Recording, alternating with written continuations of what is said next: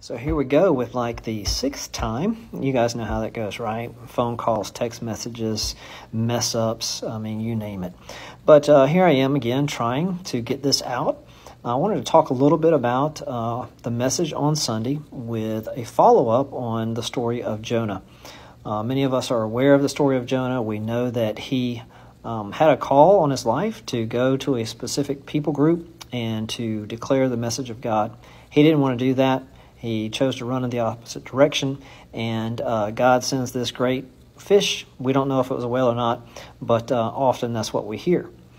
But all that stuff aside, what is the story? What is the bigger picture of the story?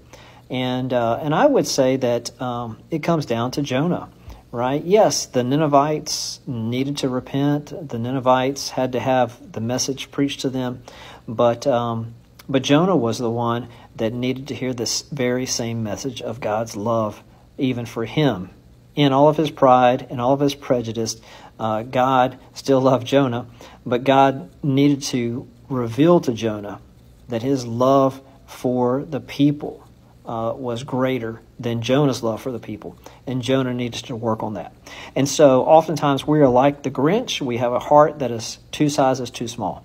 And uh, God may be wanting to do something in our lives. And so he allows our paths to cross with people maybe who are not like us, or maybe he sends us to another country or culture to experience things that are different than what we're used to, so that our hearts will be uh, expanded, so that our love will grow, so that we will become more like him. God loves the whole world. We know this from John 3:16 that Jesus died for the entire world. Um, and so God wants us to love the people the way that He loves the people. Uh, as I wrap up here, let me just um, suffice it to say that uh, it's not just about other people, it is about what God's trying to do in your heart, in your life.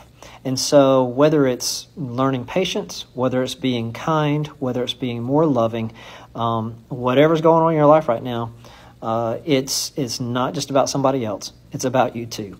And God is trying to work something in your heart to make you more like Him. Every mission uh, can seem impossible, but we know that all things are possible with God. And, um, and sometimes the hardest mission is not somebody else, the hardest mission is ourselves.